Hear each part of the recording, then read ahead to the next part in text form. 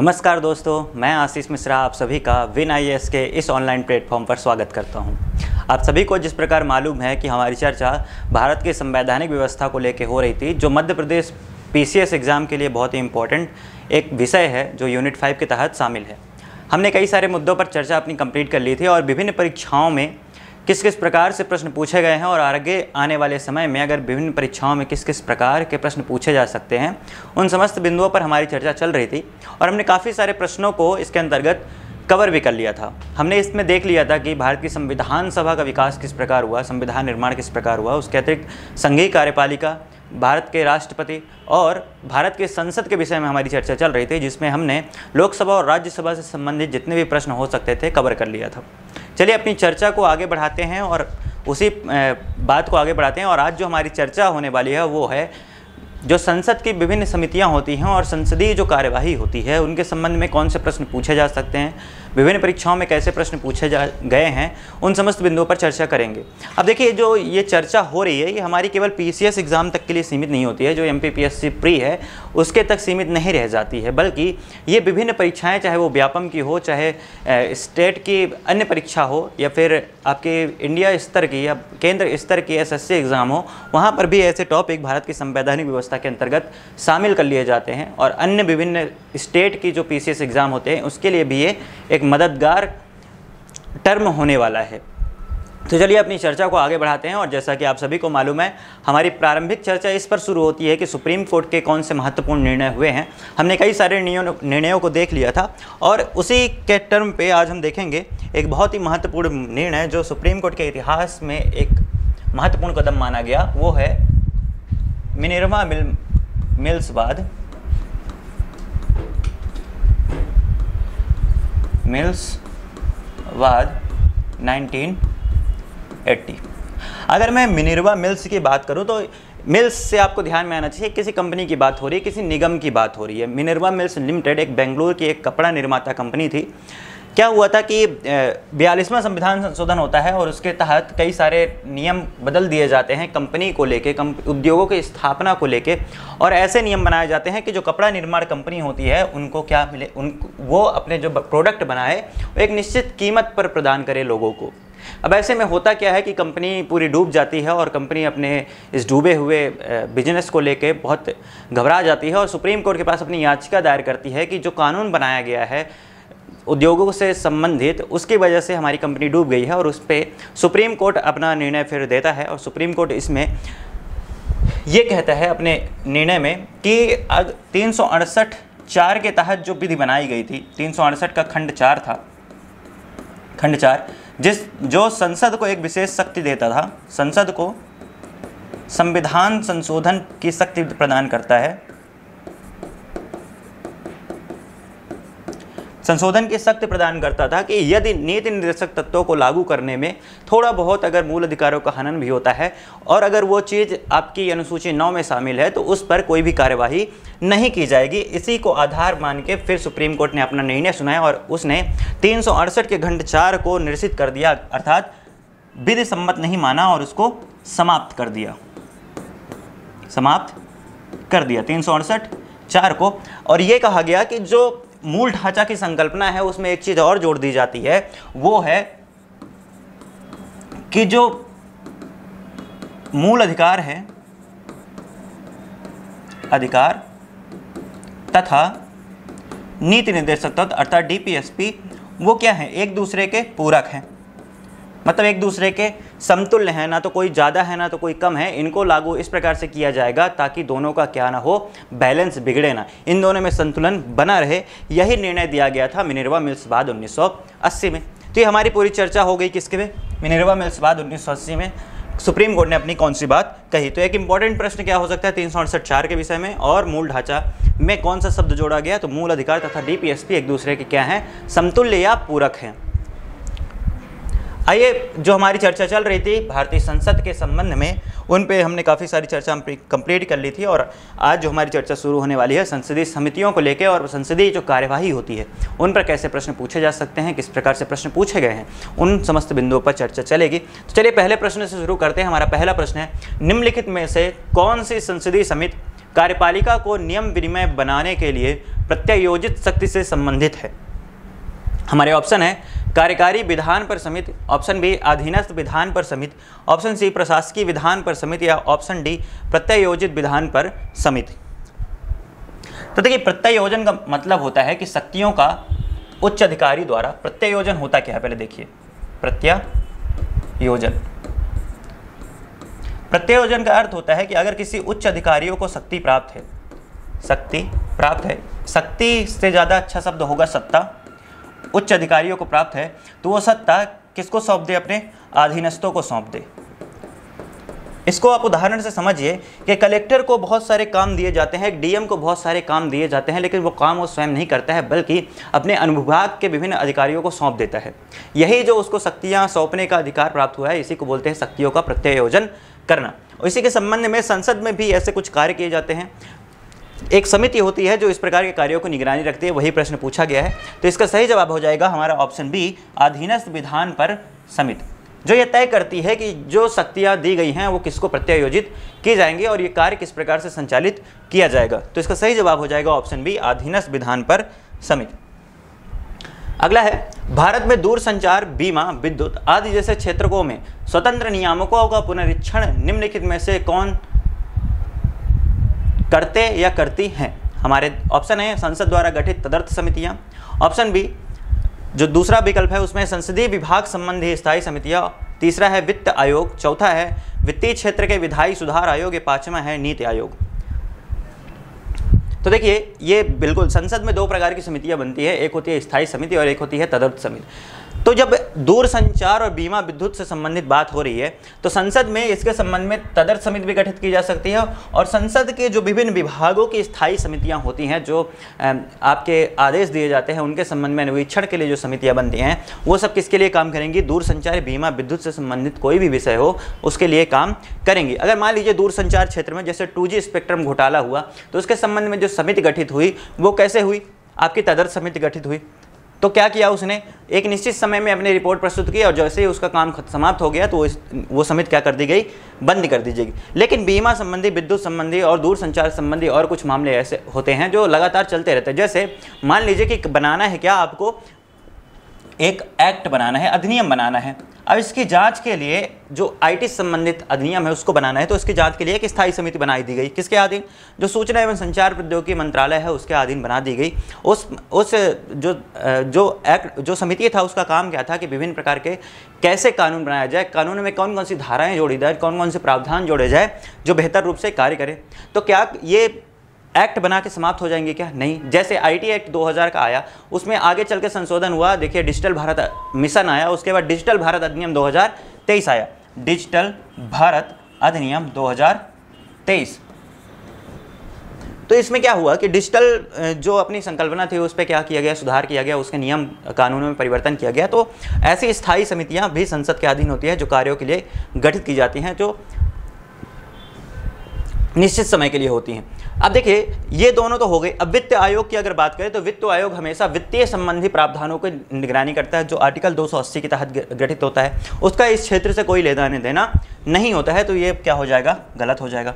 वित्तीय क्षेत्र के विधायी सुधार आयोग ये भी क्या हो जाएँगे? वित्तीय क्षेत्र से आपसे संबंध में आ रहा है तो ये भी क्या हो जाएगा? गलत हो जाएगा। और नीति आयोग की बात करें तो ये पीएमओ के अधीन रह के काम करता है, उसका संसदीय समितियों से किसी प्रकार का योगदान नहीं रहता है। ये इसलिए भी ये लागू नहीं होगा तो इसका सही जवाब क्या हो जाएगा? ऑप्शन ए और दो। मतलब हमारा ऑप्शन ए इसका सही जवाब होने वाला है, जिसमें है एक और दो सही है।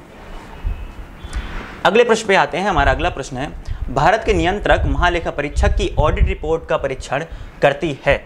हमारे ऑप्शन है लोक उपक्रम समिति ऑप्शन बी प्राकलन समिति ऑप्शन सी लोक लेखा समिति, या डी उपयुक्त में से कोई नहीं। तो देखिए सीएजी एक पद होता है, संवैधानिक पद होता है। सीएजी संवैधानिक पद होता है, पद होता है अब इसका कार्य क्या होता है कि राज्य स्तर पर या केंद्र स्तर पर कोई भी सार्वजनिक उपक्रम है, या फिर सार्वजनिक आय हैं, या फिर ऐसी सहयोगी इकाई है जिसमें सरकार अपने वित्त लगा रहा है, उनमें कितनी आय हुई, कितनी व्यय हुई, इसका पूरा विवरण तैयार करता है कौन? सी सी विवरण तैयार करता है।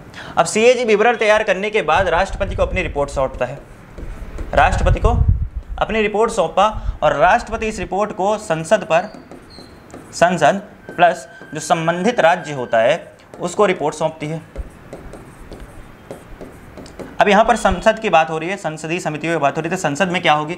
फिर संसद में जब इसमें सौंपा जाएगा तो एक समिति होती है लोक लेखा समिति। इसका उत्तर हालाँकि लोक लेखा समिति होगा। लोक लेखा समिति होती है जो पूरी जाँच करेगी कि जो इसने रिपोर्ट सौंपी है, सीएजी ने रिपोर्ट सौंपी है कि भारत के संचित नीति से इतना पैसा निकाला गया, यहाँ पर व्यय हुआ। ये सही है कि नहीं? इसकी जाँच के लिए लोक लेखा समिति गठित की जाती है। 22 सदस्यीय समिति होती है, जिसका गठन जो है लोकसभा अध्यक्ष करता है। अध्यक्ष करता है। इसमें कोई मंत्री सदस्य नहीं होते, ध्यान रखिएगा। इसमें मंत्री सदस्य नहीं होंगे। साथ ही वर्तमान में जो विपक्ष का नेता होता है, वो इसका अध्यक्ष होता है।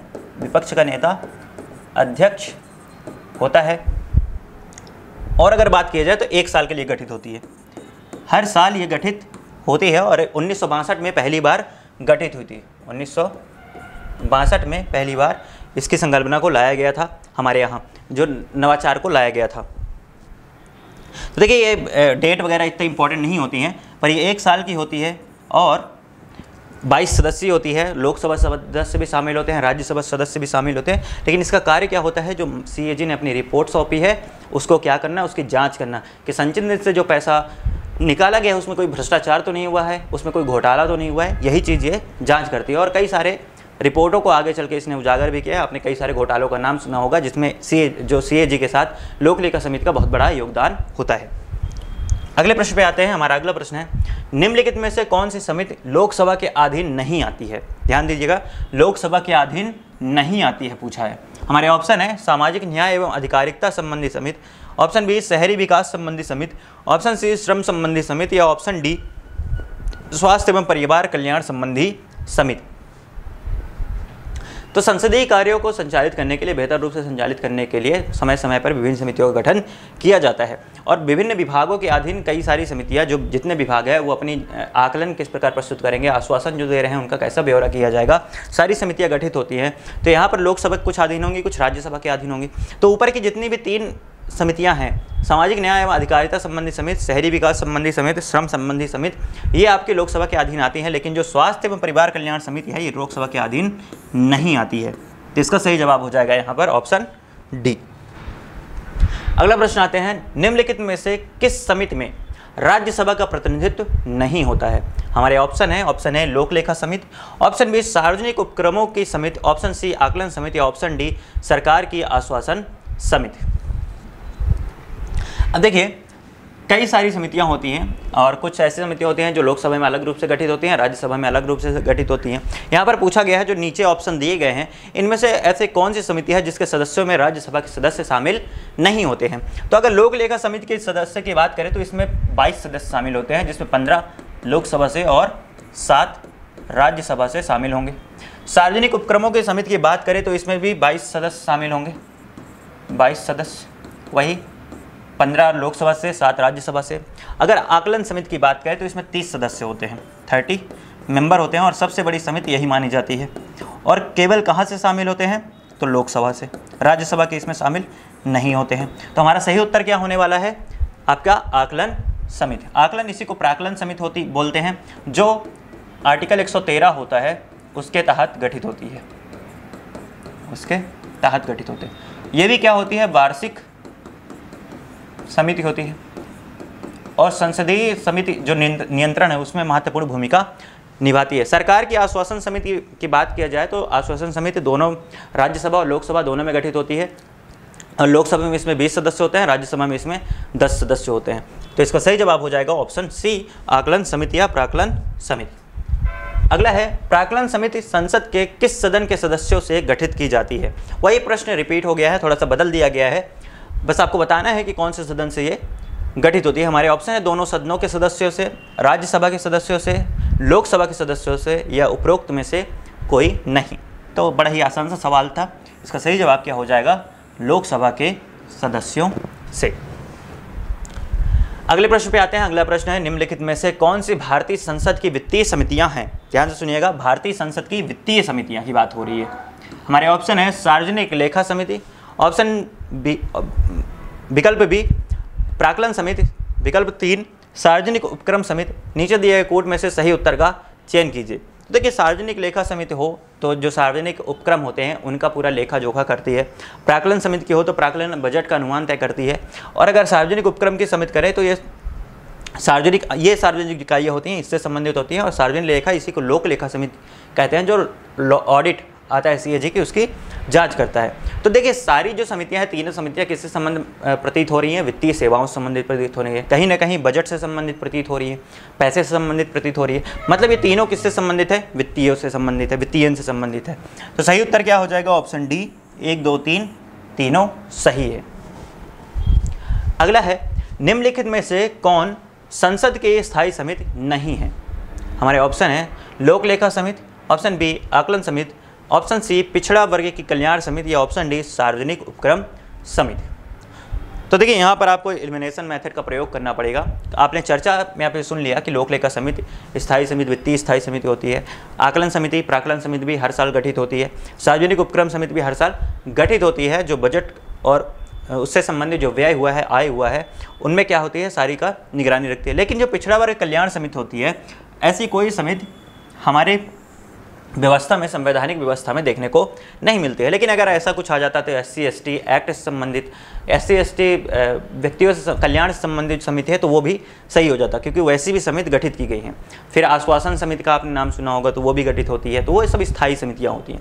लेकिन पिछड़ा वर्ग कल्याण समिति कोई स्थायी समिति नहीं होती है।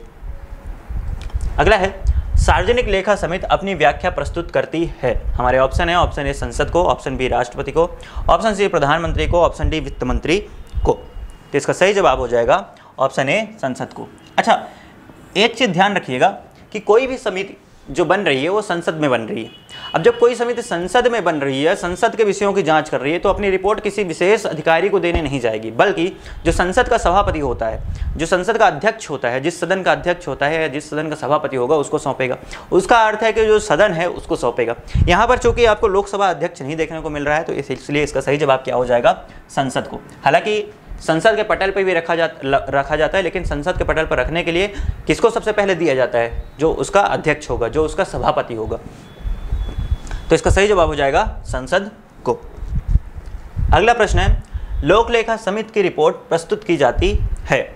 हमारे ऑप्शन है लोकसभा में, ऑप्शन बी राष्ट्रपति कार्यालय में, ऑप्शन सी वित्त मंत्रालय में, ऑप्शन डी प्रधानमंत्री कार्यालय में। तो लोक लेखा समिति अपनी रिपोर्ट कहाँ पर प्रस्तुत करेगी? लोकसभा में। देखिए, बहुत ही आसान सा सवाल था। अच्छा कि राष्ट्रपति कार्यालय में वही रिपोर्ट सौंपी जाती हैं जो संवैधानिक आयोग होते हैं, जो संवैधानिक इकाइयाँ होती हैं, वो अपनी रिपोर्ट हमेशा किसको सौंपती हैं? आपके राष्ट्रपति को। जैसे, अगर मैं बात करूँ को अभी निर्वाचन आयोग काफ़ी चर्चा में रहने वाला विषय है तो निर्वाचन आयोग अपनी रिपोर्ट किसको सौंपेगा? राष्ट्रपति को। इसी प्रकार एस सी आयोग अपनी रिपोर्ट किसको सौंपेगा? राष्ट्रपति को। इसी प्रकार भाषाई जो आयोग है, वो अपनी रिपोर्ट किसको सौंपेगा? राष्ट्रपति को। तो जितने भी संवैधानिक निकाय आपको देखने को मिलते हैं, वो अपनी रिपोर्ट कहाँ पर सौंपेंगे? राष्ट्रपति को सौंपते हैं। सीएजी भी अपनी रिपोर्ट कहाँ पर सौंपेगा? राष्ट्रपति को सौंपेगा। वित्त मंत्रालय में वित्तीय मामलों की जितनी भी रिपोर्ट होती है, बजट होता है, आर्थिक सर्वेक्षण होता है, वो अपनी रिपोर्टों कहाँ प्रस्तुत करते हैं, पहले मतलब दिखाते हैं सबसे पहले उसका जायजा करवाते हैं तो वो वित्त मंत्रालय में करवाते हैं। प्रधानमंत्री कार्यालय में नीति आयोग का नाम सुना होगा आपने तो नीति आयोग कोई भी काम करता है तो पीएमओ में उस चीज़ की रिपोर्ट प्रस्तुत की जाती है। फिर उसके बाद वो संसद के पटल पर रखी जाती है, मंत्रिपरिषद के माध्यम से। अगला प्रश्न है, निम्न कथनों पर विचार कीजिए। लोक लेखा लेखा तथा सार्वजनिक उपक्रम की समितियों से राज्यसभा के सदस्य भी संबंधित होते हैं, जबकि प्राकलन समिति के लिए सदस्य केवल लोकसभा से ही लिए जाते हैं। दूसरा है, संसदीय कार्य मंत्रालय कुल मिलाकर संसदीय कार्यों की मंत्रिमंडलीय समिति के निर्देशन में कार्य करती है।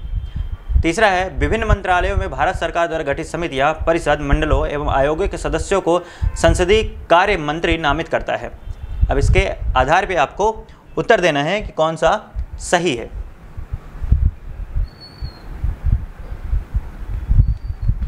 तो देखिए, ये बिल्कुल बात सही है कि जो लोक लेखा समिति होती है और सार्वजनिक उपक्रम की समिति होती है, उसमें दोनों सदनों के सदस्य शामिल होते हैं। प्राकलन समिति में केवल लोकसभा के सदस्य शामिल होते हैं, ये बिल्कुल बात सही है। और अगर संसदीय कार्य मंत्रालय कुल मिलाकर संसदीय कार्यों की मंत्रिमंडल समिति के निर्देशन में कार्य करती है तो ये भी बात सही है। फिर विभिन्न मंत्रालयों में भारत सरकार द्वारा गठित समितियाँ, परिषद, मंडलों आयोगों के सदस्यों को संसदीय कार्य मंत्री नामित करता है।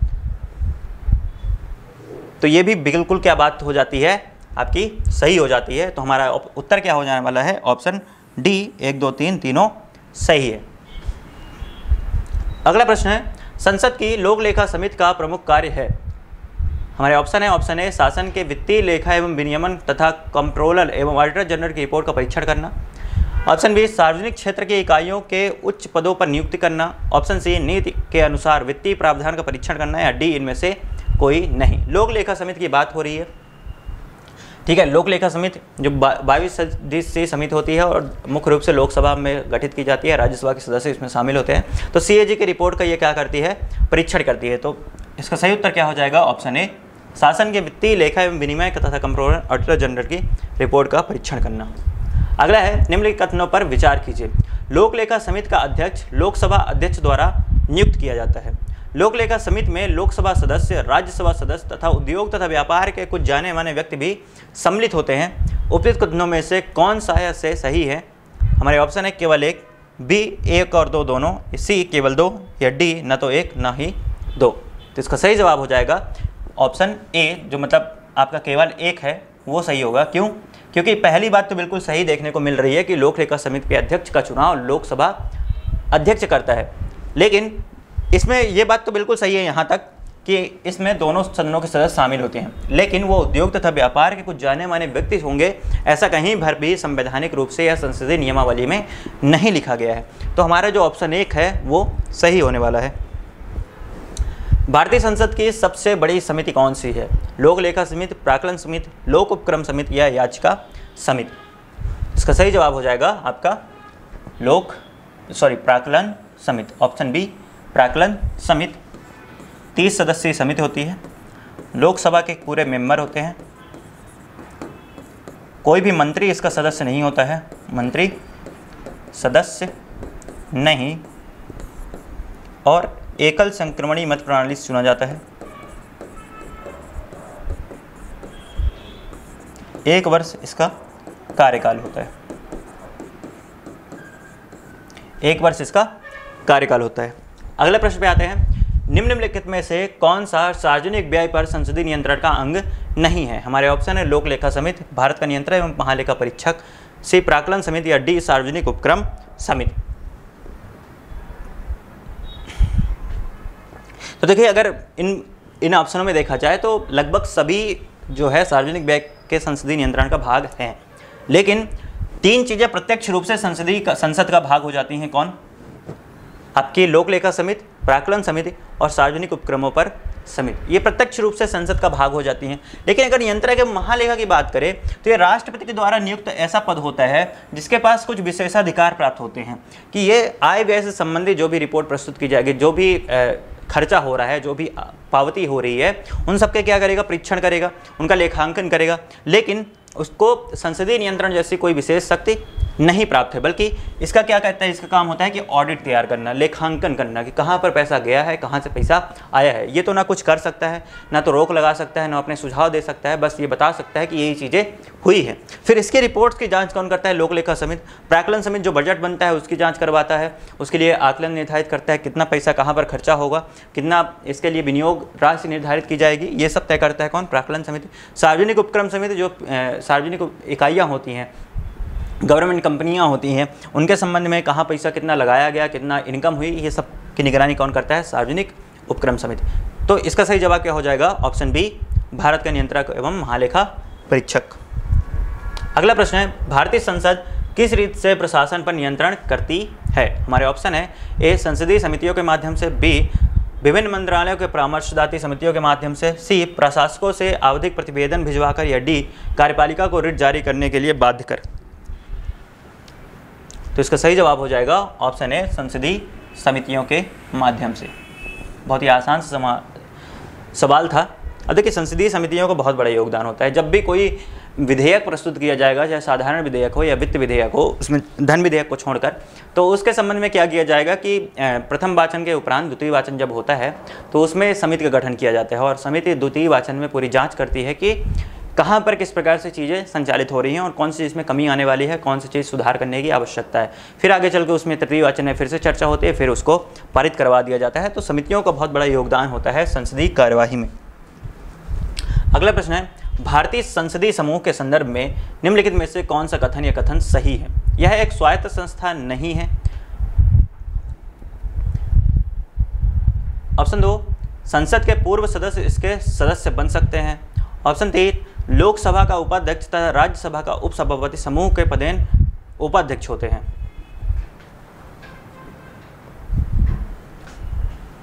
तो देखिए यह जो गठित की थी, थी समिति ये गठित की गई थी संविधान सभा के दौरान। और संविधान सभा के दौरान गठित करने के द्वारा इसको जब उन्नीस सौ उनचास में लागू किया गया तो इसको भी मूर्ति रूप प्रदान किया गया। लेकिन यह एक कैसी समिति होती है? स्वायत्त रूप से कार्य करने वाली समिति होती है। तो पहला जो कथन है, वो गलत हो जाएगा। संसद के पूर्व सदस्य इसके सदस्य बन सकते हैं। तो ये बात जो होती है, ये बिल्कुल सही होती है। संसद के जो वर्तमान सदस्य है, वो कुछ निर्धारित राशि दे करके इसकी सदस्यता ग्रहण कर सकते हैं। और साथ ही जो पूर्व सदस्य हैं, वो भी एक निर्धारित राशि दे करके इसमें जीवन पर्यंत तक के लिए सदस्यता ग्रहण कर सकते हैं। ऐसी व्यवस्था की गई है। देखिए, तीसरा ऑप्शन है कि लोकसभा के उपाध्यक्ष, राज्यसभा के उपसभापति, समूह के पदेन उपाध्यक्ष होता है तो ये भी बात बिल्कुल सही है। तो दूसरा और तीसरा बात बिल्कुल सही है। और अगर बात करें कि लोकसभा जो अध्यक्ष होता है, अध्यक्ष अध्यक्ष, वो लोकसभा अध्यक्ष होता है। आईपीजी ग्रुप होता है इसका, अध्यक्ष लोकसभा अध्यक्ष होता है, ये भी पदेन होता है। अब देखिए, ये प्रश्न पूछा गया था छत्तीसगढ़ पीसीएस के माध्यम से और छत्तीसगढ़ पीसीएस ने जो ऑप्शन टू है, इसको सही नहीं माना था, केवल तीन को सही माना था। तो यहाँ पर देखिए ऑप्शन डी केवल तीन है, लेकिन जो सही उत्तर होगा, इसका दो और तीन दोनों सही है। लेकिन ऑप्शन में कहीं पर ऐसी व्यवस्था नहीं की गई है कि दो और तीन दोनों तीनों सही है, दोनों सही है। इसलिए केवल डी जो है, सही उत्तर माना जाता था। लेकिन आप इसमें अपने स्वविवेक का प्रयोग कीजिएगा, थोड़ा कन्फ्यूज़न वाला प्रश्न है। तो ऐसे प्रश्न जो कि पूछे गए हैं, इसलिए मेरा फ़र्ज़ था कि आपको ऐसी चीज़ें बता दी जाए। तो ज़्यादा परेशान होने की आवश्यकता नहीं है, जो भी विवादित प्रश्न होते हैं, वो भी ज़्यादा आने की संभावना नहीं होती है। और आपको पीएससी की आदत तो पता है कि वो फिर एक प्रश्न के दो अर्थ अर्थ उत्तर दे देता है, नहीं तो उसको ज़्यादा पसंद नहीं आया ना तो डिलीट भी कर देगा। तो ऐसे प्रश्न पूछे जाने की ज़्यादा संभावना नहीं है, बस चूँकि पूछा गया है, इसलिए यहाँ पर डाल दिया गया है। अगला है, वह कौन राष्ट्रवादी नेता था जो 1925 में केंद्रीय विधानसभा का अध्यक्ष या स्पीकर चुना गया? हमारे ऑप्शन है Motilal Nehru, option B Vallabh Bhai Patel, option C Vitthal Bhai Patel या option D C R Das. तो इसका सही जवाब हो जाएगा ऑप्शन सी विट्ठल भाई पटेल। विट्ठल भाई पटेल 1950 25 में केंद्रीय विधानसभा के पहले भारतीय अध्यक्ष चुने जाते हैं। पहले भारतीय अध्यक्ष। आपको कमेंट में बताना है, यहाँ पर एक प्रश्न और मैं निकाल देता हूँ कि 1921 में जो केंद्रीय विधानसभा बनी, केंद्रीय विधानसभा बनी, इसके पहले अध्यक्ष कौन थे? पहले अध्यक्ष। उपाध्यक्ष मैं बता दूँगा आपको कि भारतीय थे सत्यनारायण सिन्हा, लेकिन पहले अध्यक्ष कौन थे ये आपको बताना है। सत्यनारायण सिन्हा इसके उपाध्यक्ष थे। आपको बताना है कि पहले अध्यक्ष कौन थे? एक अंग्रेज़ अधिकारी थे अध्यक्ष। आपको कमेंट में इस चीज़ को बताना है। हालाँकि यहाँ पर जो प्रश्न है, उसका उत्तर क्या होने वाला है? विट्ठल भाई पटेल। अगले प्रश्न पे आते हैं। भारतीय संसद का सचिवालय संसदीय कार्य मंत्री के अधीन है, ऑप्शन बी राष्ट्रपति के अधीन है, ऑप्शन सी सरकार से स्वतंत्र है, या ऑप्शन डी सर्वोच्च न्यायालय के अधीन है। तो देखिए, इसका सही जवाब हो जाएगा, ऑप्शन सी सरकार से स्वतंत्र है। अगर यहाँ पर कुछ ऐसा आ जाता कि संसद के अधीन है तो बात सही हो जाती। संसद के अधीन है, वास्तविकता में है। आर्टिकल 98 भारतीय संसदीय सचिवालय की बात करता है, और ये कहता है कि दोनों सदनों के लिए पृथक पृथक सचिवालय होंगे। दोनों सदनों हैं तो पृथक पृथक संचालन, संचाल, सचिवालय होंगे। और सचिवालय के जो अध्यक्ष होते हैं, महासचिव होते हैं। महासचिव। महासचिव इनकी नियुक्त की जाएगी जो लोकसभा का अध्यक्ष होता है लोकसभा सचिवालय के लिए और राज्यसभा के सभापति के द्वारा राज्यसभा के सचिवालय के लिए। तो अभी आपने नाम सुना होगा प्रमोद चंद्र मोदी, जो राज्यसभा के सचिवालय के महासचिव है। इसी प्रकार उत्पल कुमार जो हैं, आपके लोकसभा के सचिवालय के महासचिव हैं। तो यहाँ पर इस प्रश्न का सही जवाब क्या हो जाएगा कि सरकार से स्वतंत्र होती है, बल्कि किसके अधीन होती है? संसद के अधीन होती है। अगला प्रश्न है, भारतीय संसद की संप्रभुता प्रतिबंधित है। भारत के राष्ट्रपति की शक्तियों से, ऑप्शन बी न्यायिक समीक्षा से, ऑप्शन सी विपक्षी दल के नेता से, या ऑप्शन डी भारत के प्रधानमंत्री की शक्तियों से। जल्दी से बताइए इसका कमेंट में, जवाब बताइए। इसका सही जवाब हो जाएगा ऑप्शन बी, न्यायिक समीक्षा से। देखिए, कोई भी कानून अगर संसद द्वारा बनाया जाता है, संसद ने कोई कानून बनाना है, बनाया, जैसे अभी चर्चा में आपने सुना बॉन्ड को बनाया गया था, एक कानून बना के तरह लाया गया था 2017 में और 2018 से उसको लागू किया गया था, जिसके तहत राजनीतिक जो दल होते हैं उनको चंदा प्रदान किया जाता था। चंदे में पारदर्शिता आ सके, इसके लिए यह व्यवस्था अपनाई गई थी। लेकिन सुप्रीम कोर्ट ने इसकी सुनवाई की और अभी क्या कर दिया गया 2024 में इसको असंवैधानिक करार दे दिया गया। साथ ही एसबीआई और इलेक्शन कमीशन को निर्देश दिया गया कि निश्चित समय सीमा पर अपनी रिपोर्ट प्रस्तुत करें, कौन सी जो राजनीतिक पार्टी है, किस व्यक्ति से और किस संस्था के द्वारा कितना चंदा पाई है, इसका संपूर्ण विवरण प्रस्तुत की जाए। तो देखिए, सरकार ने कोई कानून बनाया, लेकिन सुप्रीम कोर्ट ने उसके लिए क्या कर दिया? उस पर बंद कर दिया, उसको असंवैधानिक करार दे दिया। मतलब क्या है? उस पर प्रतिबंध लगा रहा है। उसकी संप्रभुता पे प्रतिबंध लगा रहा है। तो ये किसके तहत आया? न्यायिक समीक्षा के तहत। तो इसका उत्तर क्या हो जाएगा? न्यायिक समीक्षा। क्योंकि हमारा जो सर्वोच्च न्यायालय है, वो न्याय, जो संविधान है, उसका प्रहरी माना जाता है। इसीलिए अगर कोई भी विधि कानून इसके संबंध में लाए जाते हैं, जिससे संविधान के मनोभावना को, मनोभाव के या मूल भाव को ठेस पहुँचती है तो उसको वो असंवैधानिक करार दे दिया जाता है। और ये जो अभी मैंने मिनरवा मिल्स बाद की चर्चा की थी कुछ देर पहले, उसमें भी यही कथन इन्होंने कहा था कि कोई भी संसद संविधान से बढ़कर नहीं हो सकती है, कोई भी पद संविधान के अंतर्गत संविधान से बड़ा नहीं होती। सर्वोच्च सत्ता किसकी है? भारतीय संविधान की। और संविधान की शक्ति का स्रोत कौन है? भारत की जनता। तो जनता है, संविधान है और सरकार है। अगला है भारतीय संसद का स्वर्ण जयंती समारोह मनाया गया था। हमारे ऑप्शन है एक एक उन्नीस को, पंद्रह आठ उन्नीस को, या छब्बीस एक दो हज़ार दो को, या तेरह पाँच दो हज़ार दो को। तो कि संसद की बात हो रही है तो प्राथमिक चुनाव कब हुए थे आपके? उन्नीस सौ बावन में और मई उन्नीस सौ बावन में इसकी प्रथम बैठक हुई थी। और मई उन्नीस सौ बावन से 50 साल जोड़ लीजिए तो 13 मई उन्नीस 2002 को 50 साल पूरे हो रहे हैं तो स्वर्ण जयंती कब मनाई गई? 13 पाँच 2002 को। अगला प्रश्न है, भारतीय राजनीति के संदर्भ में निम्नलिखित में से कौन सा कथन सही है? हमारे ऑप्शन है, नीति आयोग की जवाबदेही संसद के प्रति है। ऑप्शन बी, राष्ट्रपति संसद के किसी एक सदन के सत्राधीन न होने पर अध्यादेश जारी कर सकता है। ऑप्शन सी, उच्चतम न्यायालय के न्यायाधीश के रूप में नियुक्त होने की न्यूनतम आयु 40 वर्ष है। ऑप्शन डी, राष्ट्रीय विकास परिषद केंद्रीय वित्त मंत्री और सभी राज्यों के मुख्यमंत्रियों से ही गठित होती है। तो इसका सही जवाब क्या होगा? ऑप्शन बी, कि राष्ट्रपति संसद के किसी सदन के सत्राधीन होने पर, ना होने पर, या फिर दोनों सदनों के सत्राधीन ना होने पर अध्यादेश जारी कर सकता है आर्टिकल एक सौ तेईस का प्रयोग करते हुए। लेकिन अगली बैठक के, अब देखिए, जो सत्रों के बीच में मैक्सिमम गैप कितना हो सकता है? छः माह के। तो छः माह, मैक्सिमम गैप, प्लस बैठक स्टार्ट होने के छः सप्ताह बाद मतलब बयालीस दिन बाद, उस अध्यादेश को अनुमोदन आवश्यक है और ऐसा ही प्रयोग किया था। आपके जो मानवाधिकार आयोग अधिनियम आया था उन्नीस सौ तिरानवे में, इसके तहत ही लाया गया था राष्ट्रपति के द्वारा। ये बात हो गई किसके संबंध में? आपकी प्रश्न क्रमांक 22 के संबंध में। अब देखिए, नीति आयोग की जवाबदेही संसद के प्रति ना होकर पीएमओ के प्रति होता है। जो प्राइम मिनिस्टर कार्यालय होता है, उसके प्रति होता है। उच्चतम न्यायालय के न्यायाधीश के लिए न्यूनतम आय कोई निर्धारित ही नहीं है। उसे बस ये है कि ऐसा व्यक्ति जो 10 साल तक सुप्रीम कोर्ट में, हाई कोर्ट में अपनी सेवा दे चुका है और किसी हाई कोर्ट में लगातार जज जज रह चुका है। सुप्रीम कोर्ट में 10 साल तक अधिवक्ता के रूप में कार्य कर चुका है। पाँच साल तक हाई कोर्ट में जज के रूप में कार्य कर चुका है लगातार। तो क्या हो सकता है? सुप्रीम कोर्ट का जज बन सकता है। कोई और मैक्सिमम जो आयु होगी वो पैंसठ वर्ष होगी। ये ज़रूर निर्धारित है, लेकिन न्यूनतम आयु उसकी निर्धारित नहीं है। राष्ट्रीय विकास परिषद में आपके प्रधानमंत्री अध्यक्षता करते हैं। उसके अतिरिक्त आपके विभिन्न राज्यों के मुख्यमंत्री और विभिन्न मंत्रालयों के मंत्री इसके सदस्य होते हैं। अगला प्रश्न है, निम्नलिखित कथनों का परीक्षण करें और नीचे दिए गए कोड का सही उत्तर चुनें।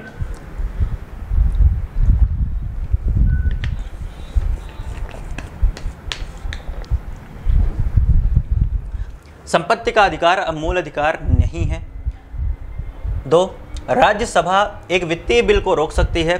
तीन, भारतीय संविधान की प्रस्तावना में बयालीसवें संविधान संशोधन द्वारा धर्मनिरपेक्ष तथा लोकतांत्रिक शब्द को बढ़ाया गया। या चार संसद के दोनों सदनों में कोई विवाद लोकसभा अध्यक्ष की व्यवस्था के द्वारा सुलझाया जा सकता है। इसके आधार पर आपको उत्तर देना है कि कोर्ट एक दो सही है, एक चार सही है, एक तीन सही है या दो तीन सही है। तो देखिए, ये बात बिल्कुल सही है कि संपत्ति के अधिकार को मूल अधिकार की श्रेणी में न रख के आपके विधिक अधिकार की श्रेणी में रखा गया है। विधिक अधिकार की श्रेणी में रखा गया है और ये कब रखा गया? फोर्टी एट कॉन्स्टिट्यूशन अमेंडमेंट 78 के द्वारा। और एक एक अनुच्छेद जोड़ा गया 300 ए, जिसमें आपके संपत्ति के अधिकार जो आपके 31 आर्टिकल में रहता था, उसको कहाँ पर स्थापित कर दिया गया 300 ए में। तो ये बात बिल्कुल सही हो जाती है। राज्यसभा एक वित्तीय बिल को रोक सकता है तो ये भी बिल्कुल सही है। अब देखिए, वित्तीय बिल दो प्रकार के हो सकते हैं। एक साधारण होता है मतलब धन विधेयक होता है, और एक होता है वित्त विधेयक। अब वित्त विधेयक जो है, राज्यसभा को और लोकसभा के बराबर शक्ति प्राप्त है वित्त विधेयक के संबंध में। धन विधेयक को भी चौदह दिन तक रोक सकता है। चौदह दिन तक रोक सकता है। अब यहाँ पर देखिए, लिखा है राज्यसभा एक वित्तीय बिल को रोक सकता है। तो ये बात भी बिल्कुल सही हो सकती है, सही हो जाती है। अब देखिए, भारतीय संविधान के बयालीसवें बयालीसवें संशोधन द्वारा उन्नीस सौ छिहत्तर के द्वारा प्रस्तावना में तीन शब्द जोड़े गए। एक तो शब्द धर्मनिरपेक्ष दिख रहा है, ये बिल्कुल सही है, धर्मनिरपेक्ष। अन्य जो शब्द जोड़े गए, वो शब्द हैं आपका समाजवादी और अखंडता। लेकिन यहाँ पर दिया गया है लोकतांत्रिक। तो लोकतांत्रिक वाला शब्द नहीं जोड़ा गया था, बल्कि धर्मनिरपेक्ष मतलब उसको पंथ निरपेक्ष कहा जाता है, धर्मनिरपेक्ष, समाजवादी और अखंडता वाले शब्द जोड़े गए थे। तो ये भी कथन, ये कथन क्या हो जाएगा? तीसरे नंबर कथन क्या हो जाएगा? गलत हो जाएगा, बल्कि एक और दो बिल्कुल सही संसद के दोनों सदनों में यदि विवाद की स्थिति उत्पन्न हो जाती है, किसी साधारण विधेयक या वित्तीय विधेयक को लेकर के तो उसके संबंध में राष्ट्रपति को यह शक्ति प्राप्त है कि वो संयुक्त अधिवेशन की व्यवस्था करवा दे। कहीं पर भी संवैधानिक नियमों में ऐसा नहीं लिखा गया है कि लोकसभा अध्यक्ष क्या करेगा, ऐसे विवादों का निपटारा करेगा। तो ये बात भी बिल्कुल हो जाती है। गलत तो हमारे उत्तर क्या हो जाएँगे? ऑप्शन ए, एक और दो, सही है। अगला आते हैं। संसदीय प्रक्रिया में गिलोटिन का क्या अर्थ है? अब आपको मैं बता दूँ, गिलोटिन एक हथियार हुआ करता था फ्रांस में। तो फ्रांस की क्रांति के टाइम पे काफ़ी चर्चा में रहा था। गिलोटिन में क्या होता है कि बीच में एक व्यक्ति को बैठा दिया जाता है, ऊपर से एक धारदार अस्त्र आता है और उसके गर्दन पे गिरता है उसकी गर्दन अलग हो जाती है, शरीर से अलग हो जाती है। तो ये गिलोटिन है, उसी पर आधारित होती है, एक एक व्यवस्था जो संसदीय मत प्रणाली के दौरान अपनाई जाती है। यहाँ पर वही चीज़ पूछी गई है कि गिलोटिन का अर्थ क्या होता है संसदीय प्रक्रिया में। कोई ये ना समझ लेना कि कोई हथियार की बात हो रही है यहाँ पर। हमारे ऑप्शन है विधेयक पर बहस को बंद कर देना बी विधेयक पर बहस को जारी रखना सी विधेयक पर अनुमति देना, या डी विधेयक को काटना। देखिए, गिलोटिन में होता क्या है कि विधेयक पर बहस बंद कर दी जाती है और सीधे क्या कर दी जाती है? वोटिंग प्रणाली। अब बहस बहस इसमें हो जाएगी बंद और सीधे मतदान करवा दिया जाएगा।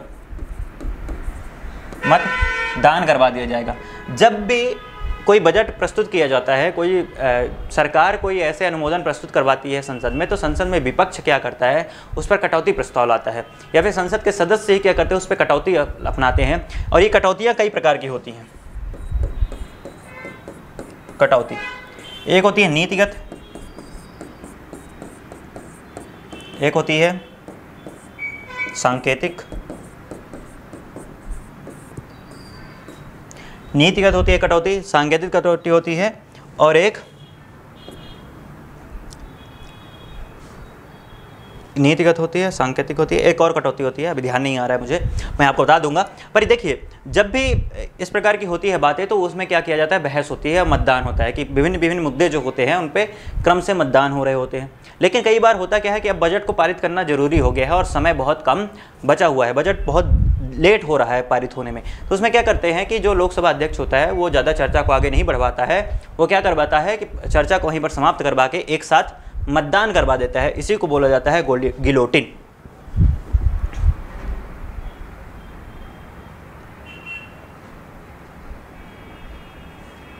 अगला है। अब देखिए, ये जो प्रश्न है, ये आईएएस की परीक्षा में पूछा गया था। मतलब जो आपका यूपीएससी होता है, उसे पूछा गया था। और ये आपके 2004 के प्री परीक्षा में पूछा गया था। इतना इम्पोर्टेंट नहीं है, उस समय के करंट के मुद्दे को रख के बनाया गया था, लेकिन अभी हाल ही में आपने एक विषय सुना होगा, अविश्वास प्रस्ताव संबंधित काफ़ी चर्चा में रहा था कि जो अभी राजा आगे की सरकार है मतलब एनडीए की सरकार है, उसके विरुद्ध आपके इंडिया गठबंधन ने लाया था। तो उसी के संबंध में एक ऐसा प्रश्न है, हालाँकि आप लोगों से बन जाएगा।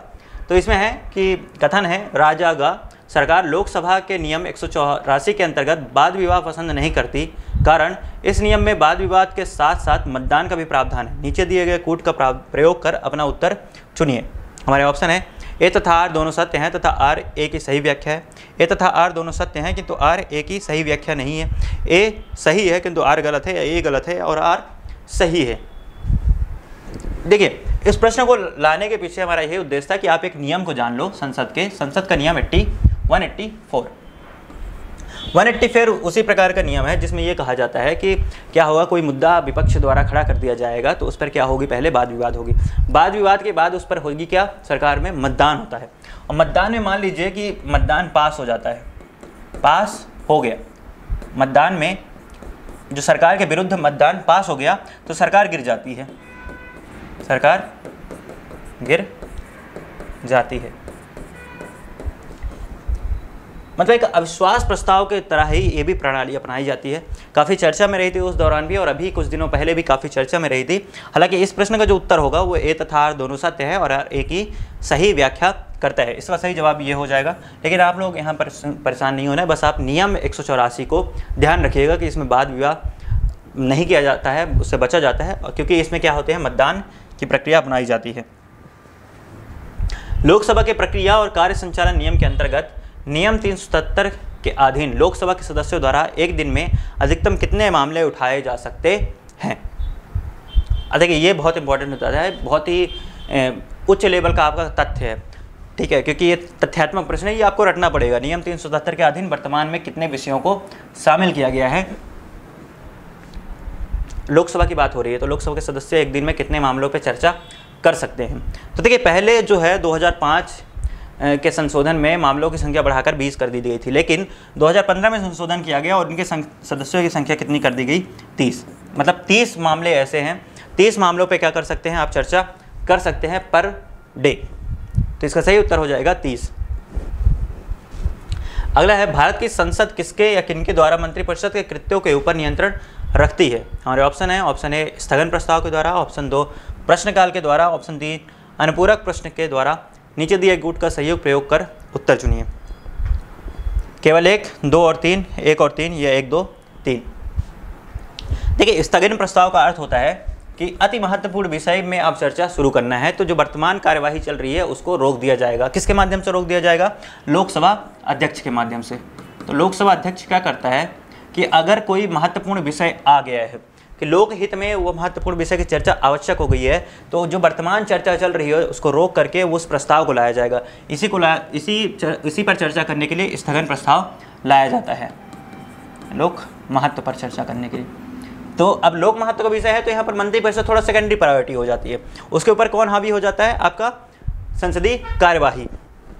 प्रश्नकाल की बात करें तो प्रश्नकाल जो प्राथमिक घंटा होता है, प्रथम घंटा होता है किसी भी संसदीय कार्यवाही में, उसमें मंत्रियों से विभिन्न प्रकार के प्रश्न पूछे जाते हैं, उस पर जवाब दिया जाता है, सवाल जवाब होते हैं और कई प्रकार के प्रश्न पूछे जाते हैं, जैसे तारांकित प्रश्न होते हैं, तारांकित प्रश्न, अतारंकित प्रश्न और अनुपूरक प्रश्न। देखिए तारांकित प्रश्न ऐसे प्रश्न होते हैं जो हरे कलर पे लिखे होते हैं। हरे रंग से लिखे जाते हैं। और इसकी क्या खासियत होती है तारांकित प्रश्न की, कि उसका जवाब मंत्री को तुरंत देना होता है। और इन प्रश्नों के ऊपर भी आप अनुपूरक प्रश्न पूछ सकते हैं। अतारंकित प्रश्न ऐसे होते हैं जिन पर स्टार नहीं लगा होता है मतलब उसमें स्टार नहीं बना रहेगा, इसका लिखित जवाब दिया जाएगा। और इस पर किसी प्रकार का अनुपूरक प्रश्न नहीं पूछा जा सकता। ध्यान दीजिएगा अतारंकित प्रश्न में किसी प्रकार का पूरक प्रश्न नहीं पूछा जा सकता है। इसके अतिरिक्त अनुपूरक प्रश्न वो होते हैं, जब इन प्रश्नों के बाद, एक प्रश्न के जवाब के बाद दोबारा कोई सदस्य उसमें प्रश्न पूछता है उस पर जो जवाब प्रश्न सवाल जवाब होंगे वो क्या कहलाएँगे आपके? अनुपूरक प्रश्न कहलाएँगे। अनुपूरक प्रश्न क्या होते हैं? आपको बता ही दिया। तो तीनों जो कार्यवाहियाँ होती हैं वो कहीं ना कहीं संसदीय कार्यवाही के अंतर्गत शामिल होती है और मंत्री परिषद के कृत्यों पर क्या करती है? नियंत्रण का, का करती हैं। इसलिए ऑप्शन डी क्या हो जाएगा? सही उत्तर हो जाएगा। अगला है तारांकित प्रश्नों के विषय में सही क्या है? हमारे ऑप्शन है, उत्तर मौखिक दिए जाते हैं, उत्तर लिखित में दिए जाते हैं। डी पूरक, तीसरा है, पूरक प्रश्न पूछे जा सकते हैं। चौथा, पूरक प्रश्न नहीं पूछे जा सकते हैं। पाँचवा, उत्तर पर बहस की जा सकती है। छठवा, उत्तर पर स्पीकर का नियंत्रण रहता है। तो देखिए, उत्तर मौखिक दिए जाते हैं, ये बिल्कुल बात सही है। उत्तर लिखित दिए जाते हैं तो ये अतारांकित प्रश्न में होता है, ना कि तारांकित प्रश्न में होता है। तो मौखिक जब दे दिया गया तो ये वाला बिल्कुल गलत हो गया। पूरक प्रश्न पूछे जा सकते हैं, ये बिल्कुल सही है। पूरक प्रश्न नहीं पूछे जाएँगे तो ये गलत हो जाता है। उत्तर पर बहस की जा सकती है तो बहस नहीं होगी। बहस मतलब ये होता है कि आप अपना पक्ष रख रहे हैं, अपना पक्ष रख रहे हैं, किसी प्रकार के नियंत्रण उस पर है नहीं, लेकिन ये नियंत्रण प्रणाली के तहत चलता है और ज़्यादा पूरक प्रश्न भी नहीं पूछा जा सकता है। तो ये पूरी कार्यवाही, जो ऑप्शन एक और तीन है, वो सही होगी। तो हमारा जो उत्तर होने वाला है, ऑप्शन बी, सही होगा। अगला प्रश्न है, कटौती प्रस्ताव का उद्देश्य क्या होता है? हमारे ऑप्शन है ऑप्शन ए सरकार की नीतियों पर नियंत्रण करना ऑप्शन बी सत्ताधारी दल की कार्यवाही को रोकना, या ऑप्शन सी बजट प्रस्तावों के खर्च में कमी का प्रस्ताव प्रस्तुत करना, या डी सरकार के सभी वित्तीय लेन देन को निरस्त करना। तो इसका सही जवाब हो जाएगा बजट प्रस्तावों के खर्च में कमी का प्रस्ताव प्रस्तुत करना। मैंने अभी इस पे इसके विषय में चर्चा की थी कटौती प्रस्ताव के विषय में कि जब कोई बजट प्रस्तुत किया जाता है तो सर, संसद के सदस्यों के द्वारा विपक्ष के द्वारा मुख्य रूप से उसमें क्या कर दी जाती है कुछ मांगे रखी जाती हैं कुछ उनमें ऐसा किया जाता है कि जो अपने अनुमोदन की अनु जितनी अनुदान की मांग निर्धारित की है जितना खर्च निर्धारित किया है उसमें से क्या कर दिया जाए कटौती कर दिया जाए कमी कर दिया जाए या फिर समाप्त कर दिया जाए। तो इसी प्रकार से एक होती है नीतिगत कटौती एक होती है वित्तीय कटौती और एक होती है सांकेतिक कटौती। तो ये सब क्या होती हैं? कटौतियाँ होती हैं। ध्यानाकर्षण सूचना के प्रावधान ने निम्नलिखित में से किसके क्षेत्र को सीमित किया है? देखिए ध्यानाकर्षण सूचना होता क्या है? पहले आप समझिए। ध्यानाकर्षण जब संसदीय कार्यवाही मान लीजिए चल रही है और बहुत ही लोक महत्व की चर्चा हो रही करना आवश्यक हो गया है। क्यों? मान लीजिए संसद चल रहा है और बीच में ऐसा पता चला कि यूपी में बहुत बड़ा दंगा हो गया या फिर मध्य प्रदेश में बहुत बड़ा दंगा हो गया। मुद्दे का विषय है और दंगे के दंगे के जो आ, मामला है उसको आप संसद में उठाया जाना ज़रूरी है। तो उस पर व्यक्तियों को, सदस्यों का और लोकसभा अध्यक्षों का ध्यान आकर्षित करने के लिए मंत्री या लोकसभा सदस्य क्या करेगा? ध्यान आकर्षण प्रस्ताव लोकसभा अध्यक्ष की पूर्व अनुमति से प्रस्तुत करवाएगा। इसमें क्या होगा? जैसे स्थगन प्रस्ताव होता था कि अत्यंत लोक महत्व का विषय, पूरी कार्यवाही बंद कर दी जाती थी और केवल उसी पर चर्चा होती थी, उसी प्रकार से ध्यान आकर्षण प्रस्ताव में भी उसी प्रकार की कार्यवाही को अपनाया जाएगा। लेकिन इसमें किसका योगदान रहेगा? लोकसभा के सदस्य या मंत्री का। तो यहाँ पर क्या ध्यान आकर्षण सूचना का प्रावधान निम्नलिखित में से किसने क्षेत्र किसके क्षेत्र को सीमित करता है? तो जो स्थगन प्रस्ताव होता है, उसके क्षेत्र को सीमित करता है। अगला प्रश्न है, सामान्य वित्तीय विधायन में चरण सम्मिलित हैं। हमारे ऑप्शन है, बजट का प्रस्तुतिकरण, बजट पर चर्चा, विनियोग विधेयक को पारित करना लेखा अनुदान या वित्त विधेयक को पारित करना। तो देखिए, जब भी कोई साधारण विधेयक प्रस्तुत किया जाता है बजट प्रस्तुत किया जाता है वो एक निश्चित चरण में चलता है। सबसे पहले बजट का प्रस्तुतकरण होता है, फिर होती है बजट पर आम बहस या चर्चा होती है। तो ये दोनों, ये भी सही हो। फिर होता है विनियोग, उसके पहले फिर होती है बजट पर चर्चा, फिर बजट के लिए समितियाँ गठित होती हैं। अब देखिए, ये पूरी एक प्रक्रिया पे चलता है, जैसे बजट का प्रस्तुत किया जाना, फिर उसके बाद होगी आम चर्चा या आम बहस फिर उसके बाद समिति गठित होगी, जो जाँच करेगी कि क्या जो अनुमोदन की मांग है, अनुदान की मांग है वो सही है कि नहीं, फिर इन पर मत होगा, मतदान होगा। मतदान के बाद विनियोग विधेयक को पारित कर दिया जाएगा। फिर इसके, उसके उपरांत वित्तीय विधेयक को पारित किया जाएगा। तो ये पूरा क्रम होता है। अब इसके बीच में जो जो चीज़ है उसको शामिल कर लो। जो चीज़ नहीं है उसको हटा दो। तो बजट का प्रस्तुतिकरण है, बिल्कुल है, बजट पर चर्चा है तो बिल्कुल है, विनियोग विधेयक पारित करना है है। लेखा अनुदान नहीं है तो ये हट जाएगा। और चौथा है वित्तीय, पाँचवा है वित्तीय विधेयक को पारित करना। तो एक, दो, तीन और पाँच जो होगा, वो सही आंसर होने वाला है। तो एक, दो, तीन और पाँच। तो ऑप्शन डी सही उत्तर होगा। अगला है, संसद में विधायन प्रस्ताव की पहल करने से पहले भारत के राष्ट्रपति की पूर्व स्वीकृति आवश्यक है। एक नवीन राज्य के गठन से संबंधित विधेयक पर। ऐसे कराधान विधेयक, जिनमें राज्यों का हित निहित हो, राज्यों की सीमाओं में फेरबदल करने से संबंधित विधेयक पर या धन विधेयक पर। उपरोक्त तथ्यों पर विचार करते हुए अधोलिखित कोटों में से सही उत्तर का चयन कीजिए। एक दो तथा तीन सही है, एक दो तथा चार सही है, दो तीन तथा चार सही है, उपयुक्त सभी सही है। तो देखिए, अगर कोई भी नवीन राज्य गठित किया जाना है। नवीन राज्य गठित किया जाना है तो राष्ट्रपति क्या करेगा? राष्ट्रपति की पूर्व अनुमति से ये संसद के समक्ष प्रस्तुत किया जाता है। राष्ट्रपति अब उसके पास ये अधिकार होता है कि वो तीस दिन का समय ले ले और तीस दिन तक राज्यों को ये समय सीमा निर्धारित कर दे कि वो अपना अपना अपना ब्यौरा दे दे कि इसके संबंध में क्या करना चाहिए, क्या नहीं करना चाहिए। हालाँकि राष्ट्रपति इनकी सूचना को मानने के लिए बाध्य नहीं है तो पहला जो ऑप्शन होगा बिल्कुल सही है। ऐसे कराधान विधेयक जिनमें राज्यों का हित निहित हो और मान लीजिए कि कोई ऐसे अंतर्राष्ट्रीय संधियों को लागू करना है कोई जी, जैसे जीएसटी का एक मुद्दा था उसको लागू करना है तो उसको धन विधेयक के रूप में प्रस्तुत किया गया। तो ऐसे कराधान को पूर्व अनुमत से राष्ट्रपति के पूर्व अनुमत से ही लागू किया जाएगा लागू किया गया। तो ये बात भी बिल्कुल सही हो जाती है। राज्यों के सीमा बदल कर सीमाओं में बदलाव करना है तो ये भी बिल्कुल सही है। और धन विधेयक पर तो पूर्व अनुमति आवश्यक होती ही है। तो हमारे क्या हो जाएँगे? चारों कथन सही है। तो हमारा उत्तर हो जाएगा उपयुक्त सभी। अगला प्रश्न है, निम्नलिखित प्रस्तावों में से किसका संदर्भित संबंध संघीय बजट से है? हमारे ऑप्शन है, निंदा प्रस्ताव ऑप्शन बी कटौती प्रस्ताव ऑप्शन सी ध्यान आकर्षण प्रस्ताव या ऑप्शन डी स्थगन प्रस्ताव।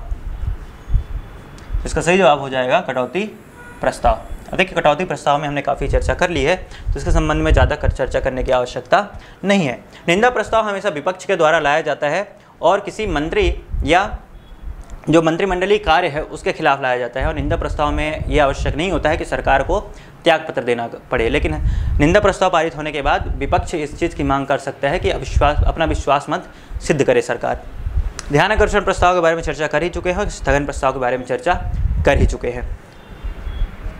अगले प्रश्न पे आते हैं, लेखानुमोदन और अंतरिम बजट के बीच क्या अंतर है?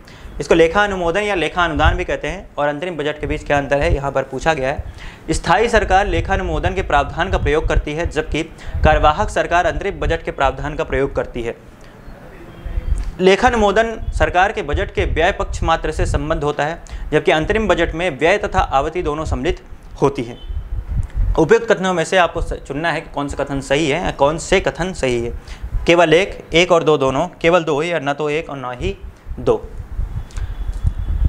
तो देखिए, स्थायी सरकार क्या होती है? जो सरकार चल रही होती है, वर्तमान में सरकार चल रही होती है, वो लेखानुदान लेखानुमोदन का प्रस्ताव पारित कर सकती है। अब वो प्रस्ताव किसके लिए होता है कि जो बजट का पूरा व्यय है, उसका एक छः एक एक बटे छः भाग क्या कर ले, अपने तीन महीनों के खर्चे के लिए निर्धारित कर ले। और अंतरिम बजट जो होता है, वो अंतिम जो लोकसभा के अंतिम वर्ष होता है, उसके लिए जारी किया जाता है। जैसे अभी वर्तमान में अभी लोकसभा ने जारी किया था। देखिए, उस प्रकार से ऐसा कुछ भी यहाँ पर देखने को नहीं मिल रहा है। अंतरिम बजट में आय और व्यय का पूरा विवरण होता है, जबकि लेखानुदान में, लेखानुमोदन में केवल व्यय पक्ष का वर्णन होता है। तो ये बात कहाँ पर देखने को मिल रही है? हमारे जो दूसरा विकल्प है, इस पर देखने को मिल रही है। तो दूसरा विकल्प तो सही है, लेकिन पहला सही नहीं है। तो इसका उत्तर क्या हो जाएगा? केवल दो सही उत्तर होगा। अगला प्रश्न है, व्यय का अनुमान किस रूप में भारतीय संसद के समक्ष रखा जाता है। हमारे ऑप्शन है, तदर्थ निधि, अनुपूरक अनुदान, अतिरिक्त अनुदान या अनुदान का अनुरोध। व्यय का अनुमान किस रूप में संसद के समक्ष रखा जाता है? तो क्या होता है? अनुदान का अनुरोध होता है, क्योंकि कोई चीज़ मांगी नहीं जा सकती है। कोई निधि के लिए अगर पैसा निकालना है तो आप मांग नहीं सकते हैं संसद से। संसद से आप अनुरोध कर सकते हैं और संसद फिर इस, इसका वर्णन कहाँ मिलता है?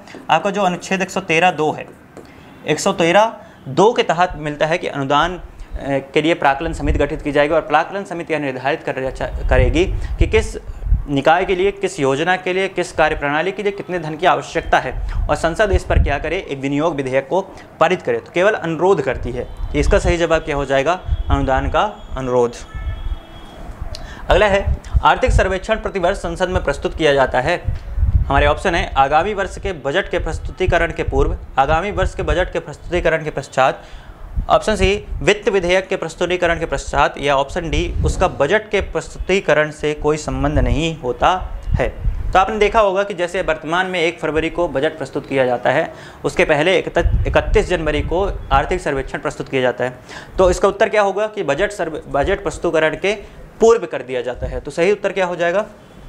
ऑप्शन ए, आगामी वर्ष बजट के प्रस्तुतिकरण के पूर्व। अगला प्रश्न है, लेखानुदान संघ सरकार को अनुमति प्रदान करता है? हमारे ऑप्शन है, ऑप्शन ए, सार्वजनिक ऋण लेने के लिए, ऑप्शन बी, भारतीय रिज़र्व बैंक से धन उधार लेने के लिए, ऑप्शन सी, राज्यों को अनुदान प्रदान करने के लिए, ऑप्शन डी, निश्चित अवधि के लिए, भारत की संचित निश्चित धन निकालने के लिए। तो इसका सही जवाब हो जाएगा ऑप्शन डी, निश्चित अवधि के लिए भारतीय संचित निधि से धन निकालने के लिए। अब आपको ये मैं बता दूँ कि जब भी बजट तैयार किया जाता है तो उसका उद्देश्य ये रहता है कि उसके संबंध में एक एक विधेयक पास किया जाएगा। उसको बोलते हैं आर्टिकल 114 के तहत विनियोग विधेयक। और विनियोग विधेयक अगर जब तक पास नहीं किया जाएगा तो संचित निधि से कोई भी धन नहीं निकाला जा सकता है। लेकिन जब सरकार चल रही होती है, उसको पैसे की ज़रूरत बनी रहती है। लेकिन बजट तुरंत पास ना होकर तीन महीने का समय लेता है। तो ऐसे समय के लिए क्या कर दिया जाता है? एक लेखानुदान सरकार द्वारा, जो वर्तमान मंत्रिपरिषद होती है, उसके द्वारा पास किया जाता है और अग्रिम धन संचित निधि से उस बजट का कुछ भाग निकाल लिया जाता है। उसे कहा जाता है लेखानुदान। अगला प्रश्न है, लेखानुदान बना है कैग की रिपोर्ट पर मतदान के लिए अप्रत्याशित व्यय को पूरा करने के लिए बजट पारित होना लंबित होने के कारण निधि आवंटन हेतु या बजट के लिए है। तो इसका सही जवाब हो जाएगा, बजट पारित होना लंबित होने के कारण निधि आवंटन हेतु। और इसका ज़िक्र कहाँ मिलता है? आपका अनुच्छेद 116 में।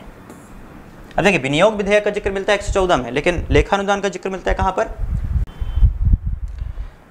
चलिए, अगले प्रश्न पे चलते हैं। यदि वार्षिक संघीय बजट लोकसभा द्वारा पारित नहीं होता तो उस स्थिति में कौन सी स्थिति होगी? उसी के संबंध में ये प्रश्न है। हमारे ऑप्शन है, बजट में संशोधन कर यह दोबारा पेश किया जाता है। ऑप्शन बी सुझाव हेतु बजट राज्यसभा को भेज दिया जाता है। या ऑप्शन सी संघीय वित्त मंत्री से त्याग पत्र देने के लिए कहा जाता है। या डी प्रधानमंत्री अपनी मंत्रिपरिषद का त्याग पत्र पेश कर देता है। तो देखिए, अगर कोई संघीय बजट पारित किया जा रहा है, उसका ये मतलब है कि वहाँ पर बहुमत की सरकार है। और मान लीजिए कि वो बजट पास पास नहीं हो रहा है मतलब सरकार में समर्थन अब समाप्त हो गया है। और जब लोकसभा में किसी भी सरकार का समर्थन समाप्त हो जाएगा तो पूरी मंत्रिपरिषद को क्या देना पड़ेगा? इस्तीफा देना पड़ेगा। तो इसका सही जवाब क्या हो जाएगा? ऑप्शन डी, प्रधानमंत्री अपनी मंत्रिपरिषद का त्याग पत्र कर देंगे। अगला है, भारत की संसद के संदर्भ में निम्नलिखित कथनों पर विचार कीजिए। गैर सरकारी विधेयक ऐसा विधेयक है जो संसद के सदस्य द्वारा प्रस्तुत किया जाता है, जो निर्वाचित नहीं है, किंतु भारत के राष्ट्रपति द्वारा नाम निर्दिष्ट है। ऑप्शन दो, हाल ही में भारत की संसद के इतिहास में पहली बार एक गैर सरकारी विधेयक पारित किया गया। उपयुक्त कथनों में से कौन सा या से सही है? ऑप्शन ए, केवल एक। ऑप्शन बी, केवल दो। ऑप्शन सी, एक और दो दोनों या ऑप्शन डी, ना तो एक, ना ही दो। तो देखिए, गैर सरकारी विधेयक ऐसे विधेयक होते हैं जो मंत्रियों के द्वारा नहीं पेश किए जाते हैं। ठीक है, गैर सरकारी की बात कर रहे हैं। मंत्री पेश नहीं करेंगे। कौन पेश करेगा? या तो सदस्य या विपक्ष का सदस्य। कोई भी पेश कर सकता है जो सदन का सदस्य है। सदन का सदस्य पेश किया जा सकता है। लेकिन उसमें ये कहीं पर ज़िक्र नहीं लिखा है कि वो राष्ट्रपति द्वारा नाम व्यक्ति है या निर्वाचित नहीं है, ऐसे व्यक्ति करेगा। ऐसे व्यक्ति पेश नहीं कर सकते हैं तो जो ऑप्शन एक है, जो कथन एक है, ये क्या हो जाएगा? गलत हो जाएगा। दूसरा है, हाल ही में भारत के संसद के इतिहास में पहली बार एक गैर सरकारी विधेयक पारित किया गया तो ये बिल्कुल बात सही नहीं है, क्योंकि अभी तक उन्नीस सौ बावन से अभी तक लगभग चौदह से अधिक, चौदह से अधिक गैर सरकारी विधेयक प्रस्तुत किए जा चुके हैं। पास किए जा चुके हैं।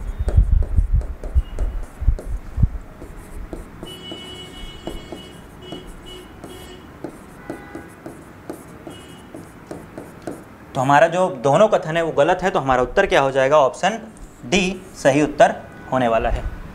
तो ये भी गलत हो गया, वो भी गलत हो गया तो उत्तर हो जाएगा ऑप्शन डी। अगला है, निम्नलिखित में से कौन सा शब्द या शब्दावली भारत के संविधान में उल्लिखित नहीं है। हमारे ऑप्शन है वार्षिक वित्तीय विवरण, विनियोग विधेयक ऑप्शन सी बजट या ऑप्शन डी भारत की संचित निधि। तो देखिए, वार्षिक वित्तीय विवरण का ज़िक्र मिलता है आपके 112 में, विनियोग विधेयक का मिलता है 114 में। बजट शब्द का ज़िक्र नहीं मिलता है, ये केवल हम न्यूज़पेपर और संसदीय जो कार्यवाही होती है, उसके दौरान सुनते हैं। जो एक फ्रांसीसी शब्द है, फ्रांसीसी शब्द में इसका अर्थ होता है, फ्रेंच भाषा में इसका अर्थ होता है, चमड़े का थैला। चमड़े का